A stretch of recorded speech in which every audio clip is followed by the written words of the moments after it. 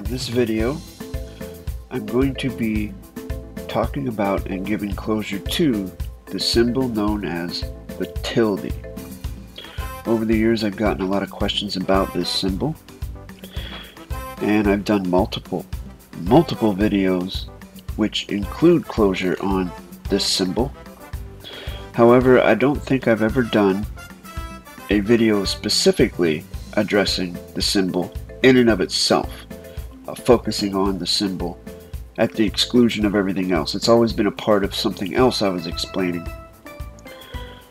And the, I think the most recent one I did was the video I did on location and how one would articulate a location using correct sentence structure, communication, parsing, syntax, grammar, and that may have been last year. So I've been getting questions about it, and this is one of those things where if I haven't already created a video specifically about it, might as well create one so that people can just look it up, use the search uh, search function on YouTube, and get the closure there. Now the tilde, when used in correct sentence structure, communication, parsing, syntax, grammar, and by that I mean the quantum grammar technology brought to the public by colon David Wynn colon Miller. In that context, uh, context, in that domain, the tilde uh, represents location. It represents any type of location that you would use. Most times, with correct sentence structure, you will find a symbol in the fiction, and then whatever it means in the fiction will usually carry that same meaning over into correct sentence structure, such as the period. In the fiction, the period is a full stop. In correct sentence structure, the period is a full stop. In the fiction, the hyphen connects compound terms. In correct sentence structure, the hyphen connects compound and creates compound facts, etc., etc. You will find a very similar, if not identical, meanings carry over between the two domains. The tilde is the is uh, an exception to that. And the reason is is because if you look up tilde, if you parse it, it will usually come back to something like title and if you look at Google or in Webster's 1828 dictionary or different styles manuals, you will find that the tilde can mean several different things.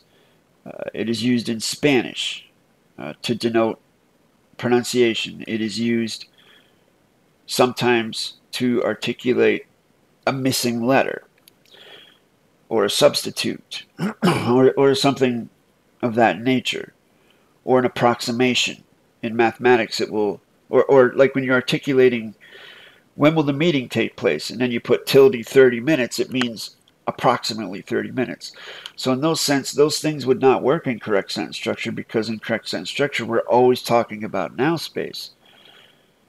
We're not talking about substitutions or so the subtraction of something or the approximation of something we're talking about the facts and the now space so therefore, those meanings of tilde would not apply. So therefore, what I've done, and uh, well, actually in my code dictionary that uh, I have co-authored with my great friend, tutor, and brother, colon Raven hyphen Farhad hyphen Tohidi colon FRN, we've taken the tilde and given it the designation of representing location. And as far as I know, uh, colon David Wynn colon Miller uses it for the same thing. And so what I'm going to do now is go through many of the different ways it could be used to show what a location is. And I'm going to go backwards, scrolling my screen downwards to show you. So first of all, what is a location? A location is a claim of space with the conveyances by a contract. So if we look at that backwards, for the contract of the conveyances is with the space of this claim with the finite mean by the location. Everything is contract, ladies and gentlemen. And so a location is just conveying that. It's the space where the where the conveyances, contract conveyances take place. And as you see here at the beginning, I have a tilde in front of this 11. which means this 11 is a location. And if you notice also, it's followed by a dash. The dash is different than the hyphen.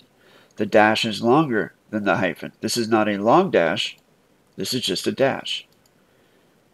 And the dash simply means, in plain English terms, terminology to explain it for the purposes of this video, that this location number 11, this number 11, is related to what's on the other side of the dash. That's all it means. So now let's move on to the closure on what a tilde is. Again, you see a different location here for the 10. You see the tilde in front of the 10. The 10 is a location which is different than the location of the 11.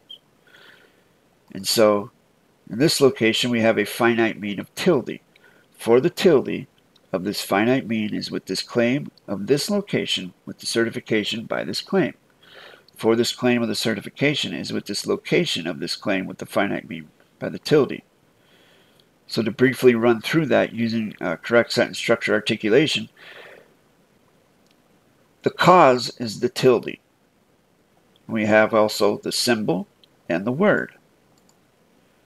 Both of those things, because it is a symbol articulating the term tilde, what is it concerned with? It's concerned with the finite mean. What is possessing the finite mean? A claim.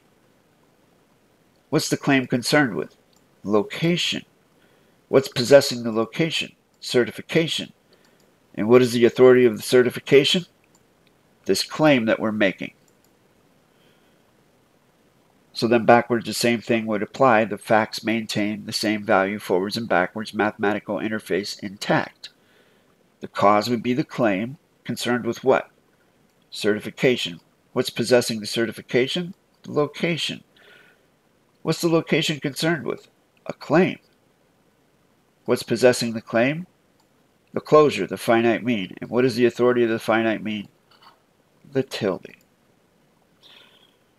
So now we're going to go through some examples of how the tilde can be used in correct sentence structure, communication, parsing, syntax, grammar. So at number 9, you can see this is a registered number that one could get at the post office. And this is one way to write that number, if you choose. So we're separating these numbers and these letters, these hieroglyphs, not only with hyphens, which denote compound facts or compound knowns, but also tildes, because each of these components are individual locations, depending upon what you're doing with it. Now another way to write that would be this. You see in number 8. Same number written as one whole entire entity, one whole entire location.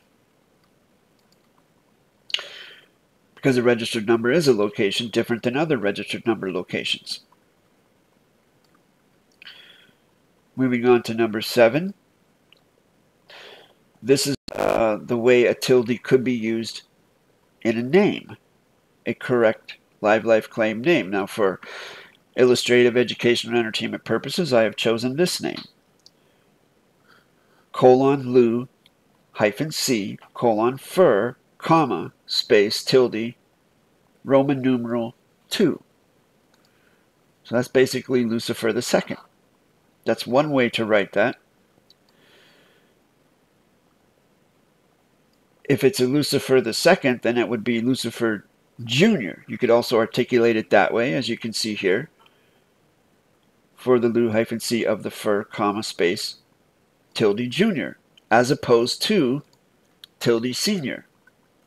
Just like tilde 2 as opposed to tilde 1 or tilde 3, or whatever the case may be. Moving on to number 5, Here's an address for the tilde 666 hyphen tilde spooky lurky lane comma space colon Barad hyphen Dur comma space Mordor comma, space, tilde, 00666. Now, this would be the domicile, sorry, domicile location. This is the street name or the lane name or whatever lane it is. It's the road. And then this would be the city. And then this would be the territory, the state, whatever. And then this would be the zip. Now, some people, some people don't like to participate with this as a fact because it means something perhaps negative to them or detrimental to them. They don't want to deal with it. So it's okay if you do this.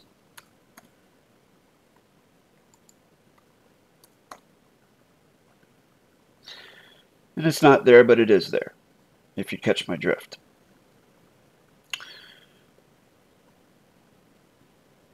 And another way to use the tilde would be when one would articulate a now space continuum location, such as the scheduled now space location of this week's For the Now Space News, which is coming up on this Saturday. And you could articulate that location by saying for the hour hyphen 2311 hyphen Eastern Standard, which is given closure to the hour using a 24 hour clock comma, space, day 19. These are all locations. You see the tilde in front of each individual location. Saturday is a location as opposed to Sunday or Monday or Friday. And then the number of the month used in the commonly used calendar that everyone, as far as I know, and everyone around me that I contract with uses this calendar, so that's why I use it. And then the month the location of the month is different than December, it's different than September, October, etc., etc. And then the year, 2022. So I've given closure to all those things in that uh, claim right there, number four. Now, another way to write the same thing, or almost the same thing, without the hour, would just be for the day 19, Saturday, month 11, November, year 2022. And then number two shortens that up even more. Number one shortens it up even more. And then zero puts it down to its basic components. Now, ladies and gentlemen, using looking at, at these date locations over here, it depends upon what the contract is and who you're contracting with as to which kind you would use. If you want to give the full closure, it means you do not want any misunderstanding at all to be construed. If you use this, then there's already a contract of cognition there where the other contract party would know what you're talking about when you say 19 and 11 and 2022 that they would know to ascribe that that oh that's the year oh that's the month and oh that's the day okay but the most important thing with correct sentence structure is to give closure and articulate closure which is what I've done with the tilde here and showed you many different ways to use the tilde in your correct sentence structure contracts. Now, people may ask, well, how, how can time, time, or dates be a location?